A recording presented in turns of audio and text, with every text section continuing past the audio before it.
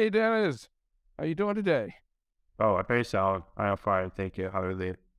Good, good. Hey, you know, I, I saw your Medium blog post on how Insider migrated uh, their data lake to Iceberg, and I really enjoyed it. And I was kind of wondering if you could get into maybe a little bit of the details, moving kind of from a pre to post Iceberg world, and how you brought your end users and producers data on that journey, and maybe any best practices. That might be a lot of topics in one thing, you know, so kind of hit what you can. But uh, yeah, I really enjoyed that. So I appreciate any time you could spend. Uh, okay, sure. Thank you, first of all. Uh, okay, so as you said, we have migrated the whole data lake of Insider to Iceberg from uh, Apache Hive. But uh, so actually, let's start with why we're and then migrated the whole data lake. And before that, let's start with why we are using the data lake as Insider. So what's our use case? Uh, actually, briefly, Insider is a SaaS uh, market platform with more than 100, uh, more than a thousand of clients. And my team is working on the recommendation and predictive customer segmentation products. And for that, we are using uh, the existing data of our clients and we are running thousands of Spark jobs every day for uh, ETL and machine learning pipelines. So those Spark jobs are basically reading and writing uh, terabytes of data every day uh, to and from our data lake, which happened to be Apache Hadoop for last like six or seven years. Uh, it was okay uh, until like 2020, I guess. Uh, but with the increasing number of clients and data, like we had, we start to have like excessive amount of beer in, in, in for S3, uh, especially for S3 and in Amazon, and like we wanted to like start some cost cutting as everyone and does nowadays. So we had some researches and we found out the pain points uh, that generated that cost. And we saw that like uh, Hive cannot keep uh, with the current uh, state of cloud, like it was designed with the HDFS in mind. There are lots of directory listing to find data files, etc. And those are translated to list bucket calls in S3 and like uh, there's a huge like we had a huge amount of uh, build for just directory listing or reading data, uh, but not storing the data. Like it was like five or six times more than storing data, and it should be like the universe. Uh, so we we had our, our homework, and we find out that like iStore can like fix this for us. So we we had our benchmarks and like we agreed upon to migrate to Iceberg. But like as we had top and hundreds of terabytes of data, it was uh, another challenge to migrate the own data lake on production.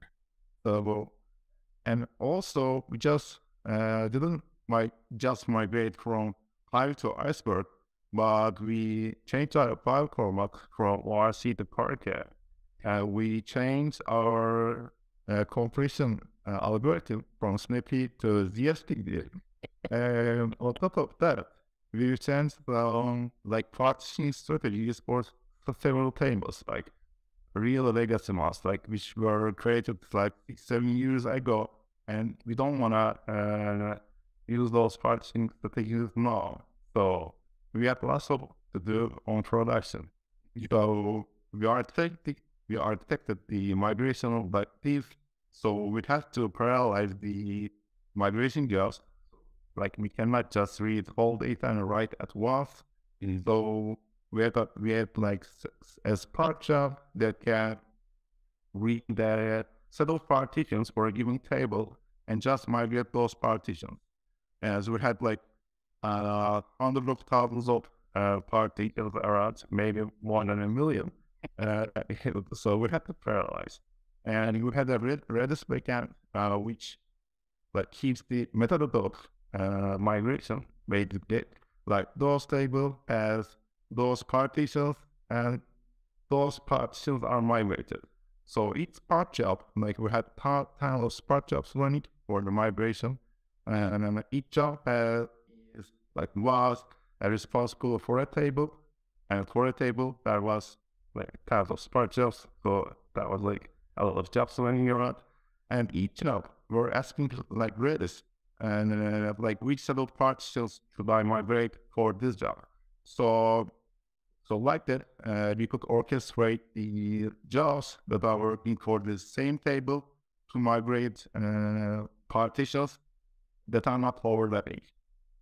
So we can parallelize the migration like this. And it took us like one or two days to migrate all data. And we use Grafana to monitor the process.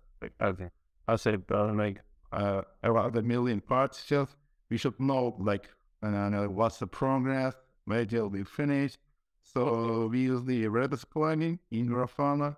So it shows us uh, each like uh, like a guide mark like uh, from zero to hundred percent for each table. So we could monitor and what's the migration rate for each uh, table, and we could add extra Spark jobs if we want to accelerate even more. So it took like two days to migrate all the jobs, like all the data.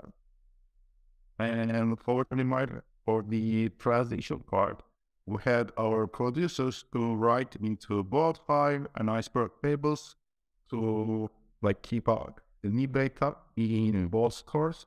And like we maintained the both data lakes for which I think were a week or two. So when they are synced, we migrated all the readers to Iceberg. And whoa, what a difference.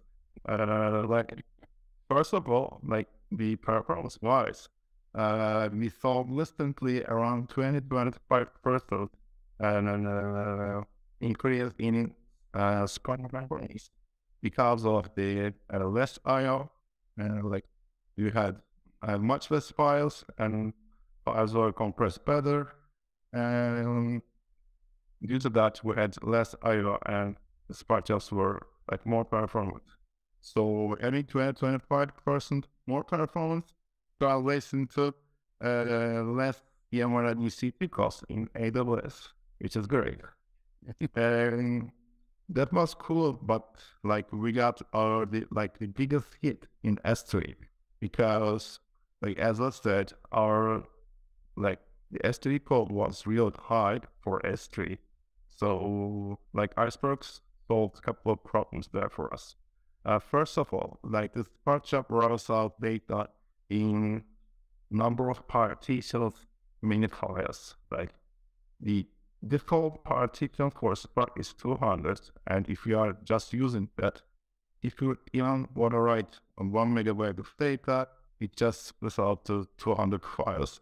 And by reading that, you need to list and read 200 files. Like you have a list command and you have 200 head object and 200 get object commands. And but using Iceberg, uh, like it automatically accumulated the accumulated the partition data before writing, like around 500 megabytes, which is configurable, and writes out the data in like 500 megabyte pieces. So in the previous example, you have one head and one get object calls, which is like uh, one percent of the previous one. So you have 90 percent of utilization basically. So oh. like in our AWS build, we saw like 90 percent decrease, and uh, in our uh, no, no, no, overall S3 cost, and uh, for that uh, data lake, like most of them was and then get objects. And we had also company list bucket a calls because like Iceberg doesn't use the directory listing. It just reads the metadata and finds out which data files to read and just goes and reads it out. So you don't need to list bucket.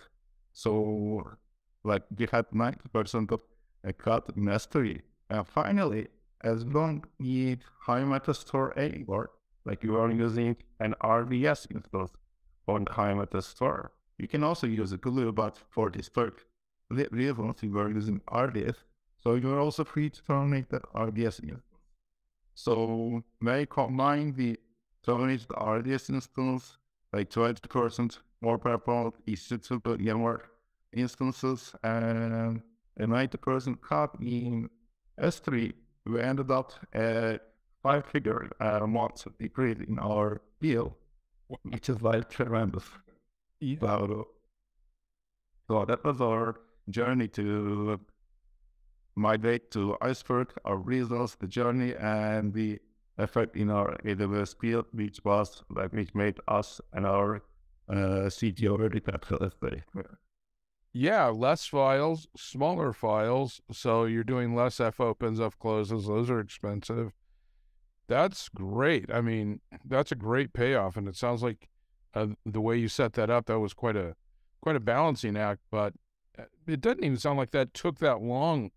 Once I mean, a couple of days for that much stuff. That's pretty. That's really good, in my opinion. Right. It, it, it, it was like one of the best ROIs that I ever seen in Collaborate. well, that's awesome, man. I thank you sharing. Thank you for sharing that story with me. I really appreciate it. Yes, you're good. Thank you. Alrighty, you take care. Goodbye. Bye bye.